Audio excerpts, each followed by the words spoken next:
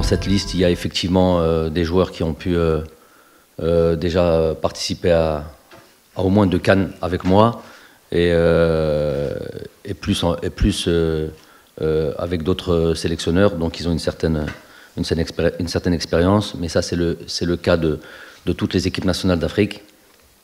Et effectivement, on ne change pas d'effectif comme ça à 100% en fonction des différentes cannes qui arrivent toutes les tous les deux ans.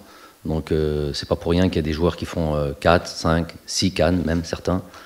c'est le, le temps d'une carrière, d'une bonne carrière, on va dire, internationale. Et il y a aussi une partie de joueurs qui, qui vont découvrir cette compétition âpre, difficile, et euh, qui vont apprendre à connaître et vont devoir apprendre rapidement parce qu'on part avec euh, certains objectifs et certaines, ambitions.